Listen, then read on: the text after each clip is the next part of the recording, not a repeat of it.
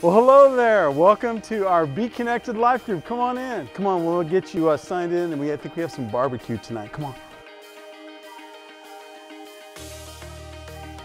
We're a spiritual family, and we're inviting you in every Tuesday evening at 6:30 p.m. No need to register. Just come on in, and you'll uh, enjoy a nice dinner with us as we dive into God's Word and fellowship together.